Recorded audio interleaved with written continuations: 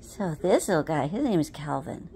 He's got whiskers for days. But you know what else he has? He has wet FIP.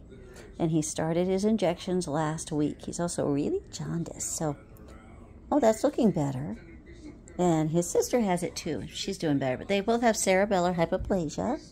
He hasn't been himself for a while.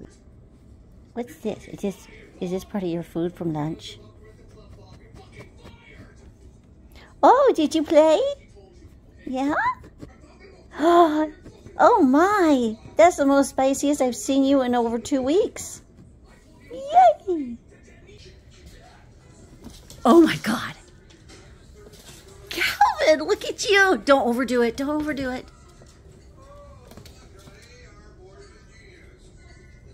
Oh my gosh.